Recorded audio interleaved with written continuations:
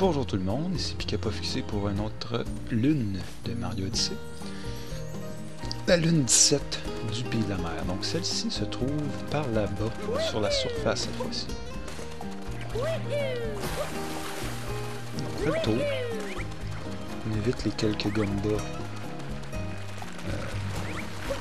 sont là. C'est des Gumba. L'animal, le- le- l'ennemi le plus dangereux. Donc, faut trouver, euh, dans ces petites îles-là, il y a une algue tout seule dans un trou.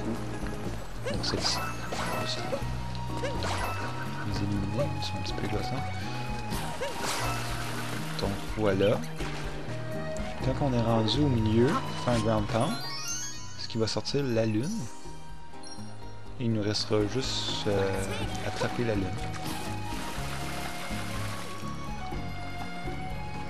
Et voilà.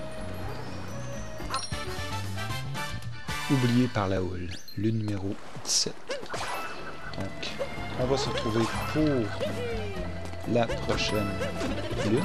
La lune 18. Prochaine vidéo. Donc, Pika pika à tous. Et bonne soirée.